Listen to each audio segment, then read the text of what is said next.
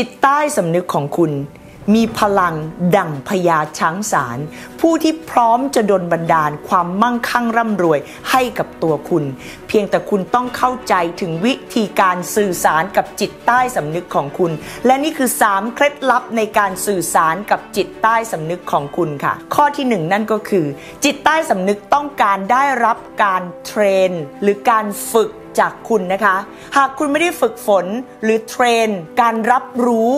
ระดับจิตใต้สำนึก คุณจะไปดูดเอาเรื่องราวเหตุการณ์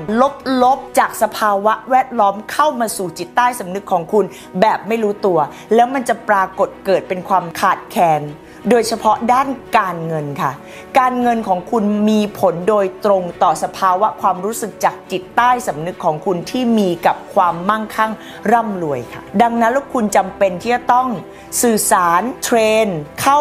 ยึด ครองอำนาจในการสั่งงานจิตใต้สำนึกของคุณค่ะ เคล็ดลับข้อที่ 2 นั่นก็คือ ในการเทรนจิตใต้สำนึกคุณต้องมีคำสั่งให้กับจิตใต้สำนึก โดยคุณต้องป้อนคำสั่งอย่างเฉพาะเจาะจง มันไม่ใช่เป็นคำพูดที่สวยหรูดูดีโดยที่คุณจำมาจากคนอื่นค่ะ แต่มันจะเป็น ภาษา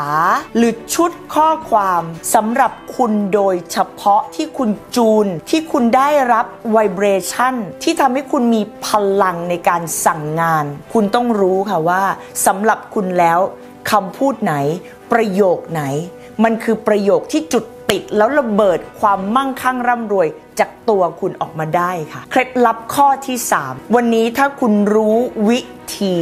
นำจิตใต้สำนึกของคุณไปปลั๊กอิน หรือว่าเชื่อมต่อกับจิตเหนือสำนึกค่ะ หรือว่าจิตจักรวาลได้ คุณจะเข้าถึงโฟล์แห่งความมั่งคั่งร่ำรวย แบบไม่ต้องพยายามใด ๆ ทั้งสิ้นค่ะ แต่คุณจะเป็นเนื้อเดียวกับความมั่งคั่งร่ำรวย คุณจะไม่ต้องพยายามที่จะรวยค่ะ แต่คุณจะมั่งคั่งในระดับจิตใต้สำนึก และเมื่อคุณมั่งคั่งในระดับจิตใต้สำนึก มันจะส่งผลออกมาเป็นโลกที่จับต้องได้ เป็นจำนวนเงินในกระเป๋าเงินคุณ เป็นจำนวนเงินใน bank account ในธนาคารของคุณค่ะ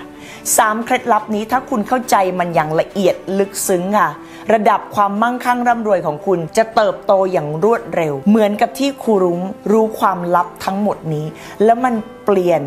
หน้าตาการเงินในชีวิตของครูรุ้งไปตลอดการค่ะ สวัสดีค่ะ